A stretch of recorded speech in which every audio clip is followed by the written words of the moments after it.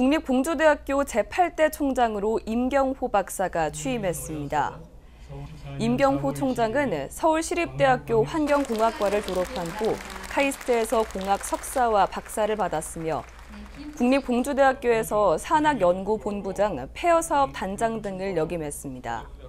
현재는 한국도시환경학회 편집위원장과 충남도 지방건설 심사위원 등 다양한 대외 활동을 하고 있습니다.